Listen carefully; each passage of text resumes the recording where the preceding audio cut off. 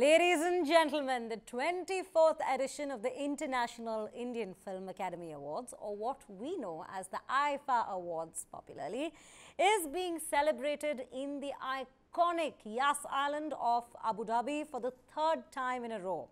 The three-day affair commenced on September 27th and will be concluding today. The star-studded event began with the IIFA Utsavam, celebrating the four South Indian film industry, namely Tamil, Telugu, Malayalam and Kannada. This was followed by the IIFA Awards night on day 2, that is September 28th. The three-day festivities will be concluding with the IIFA Rocks event, which is dedicated to the music industry and is to take place tonight.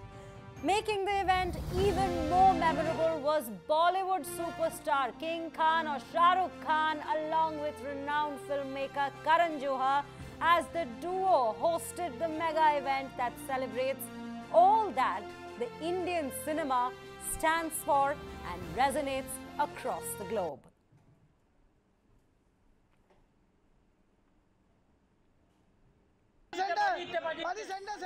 These are some of the moments that we bring to you from the green carpet, the dazzling entries made by the celebrities, the actors, the actresses, singers from across, uh, from across, in fact, industries. And as IIFA celebrates the Indian cinema as a whole, celebrations taking place through three days, a star-studded event, mega event for the industries.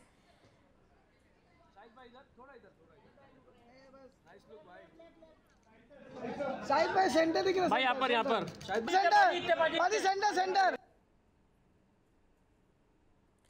Shah Rukh Khan makes a stunning entry and replays that famous scene from Kuch Kuch Hota Hai with, with his Didan co-actor Rani Mukherjee. In fact, both of them won an award on the awards night, September 28th, the details of which will follow.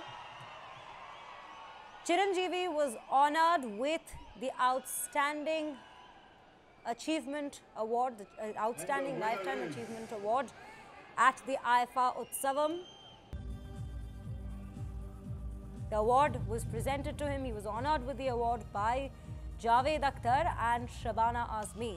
The latter, in fact, herself won an award the next night for her role in Rocky Aur Rani Ki Prem Kahani, the best actress in a supporting role, that is. These are visuals we bring to you of the celebrations that have continued over the last two nights in Abu Dhabi and it is to conclude tonight with a smashing performance dedicated to all the musicians in the industry, the IIFA Rocks.